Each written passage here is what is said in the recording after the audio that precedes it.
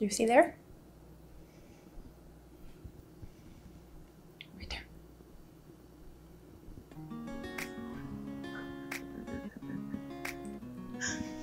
Babe. You good girl? Hmm? Where are you going? Welcome back to Plants Not Plastic. I'm Nikita and I bring you recipes that are delicious, inexpensive, simple, and healthy.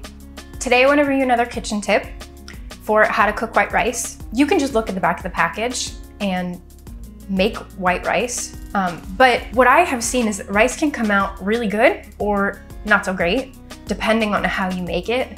I think that a lot of restaurants make really good rice, and I think that when you're cooking at home, you wish that your rice turned out like your favorite restaurant's rice every single time. Because rice is a staple for us, we put it with so many of our dishes, we have come up with a way to make white rice so that it turns out really good every time. I do just wanna say that we use this method for jasmine and long grain white rice. Um, we've also tried it on basmati and it has worked okay, but I can't say for any other types of white rice.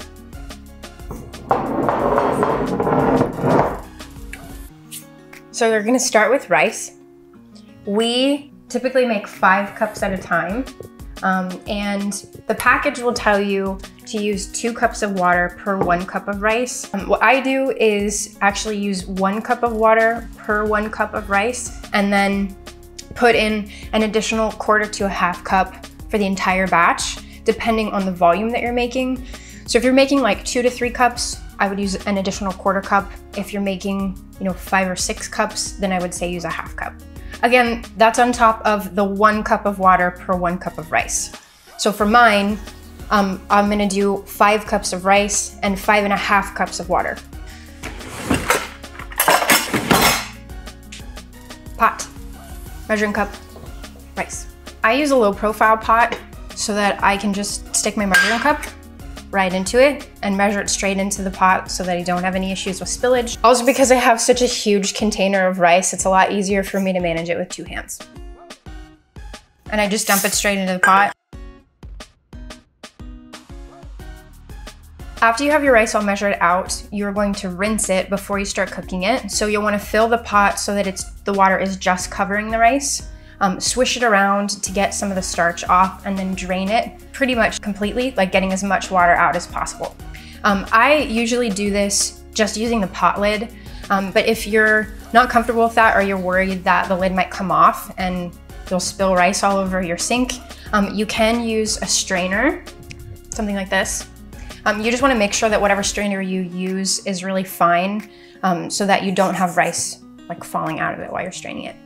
After you've rinsed it, um, you're gonna put in the one-to-one -one ratio of rice. So again, for mine with five cups um, of rice, I'm gonna do five and a half cups of water. What I like to do is use the first cup of water to rinse off the lid um, because you will have little pieces of rice grains stuck to the top of the lid. Um, so I will rinse it with the first cup of water to make sure that I'm getting all of it off.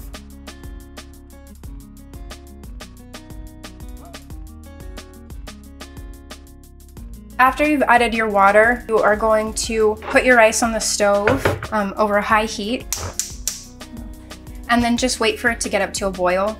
So one of the most important things about this is to not take the lid off for the entire time that you're cooking it. Getting up to a boil should take for me, about seven to eight minutes. Um, it is going to vary by how much rice you're cooking and then how big of a burner you're putting your pot onto. So you will have to kind of figure that out yourself. But you know, the average I'd say is probably between like six and nine minutes. If you don't have a pot with a glass or clear lid, what you'll want to look for is for little bits of steam to be coming out of the side of the lid, but you definitely want to make sure that you don't take the lid off to check to see if your water is boiling. So my water is just getting up to a boil right now. So I would turn it down to a simmer, but what I'm gonna show you is what to do if you can't get to the pot fast enough.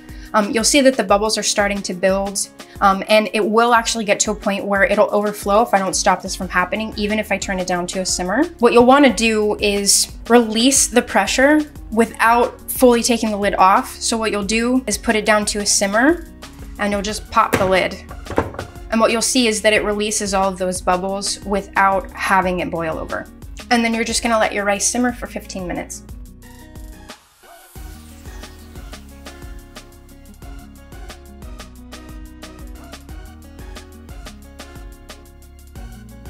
Once your timer's gone off, you wanna remove your pot from the heat and let it sit with the lid on for five minutes. This is to make sure that nothing sticks to the bottom.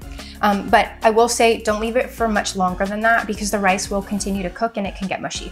After it's sat for five minutes, you wanna take your lid off and then you'll fluff it I'm gonna use my trusty spatula from the last video. What I mean by fluff is you're gonna use your spatula to basically toss the rice inside the pot, um, which will put air into it and cool it down so that it does stop cooking.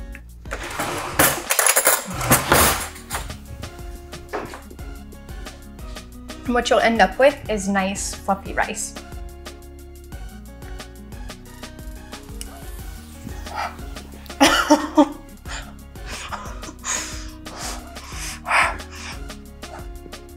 Good. Cooking it this way will change your opinion about eating rice by itself. I store my rice right after I've fluffed it so that it doesn't stick to the bottom of the pan. Actually, I want to put the lids on these until it cools down. If you can get to it fast enough, you actually don't even have to soak your pan afterward. You should be able to just put it into the storage containers and then rinse it out right away.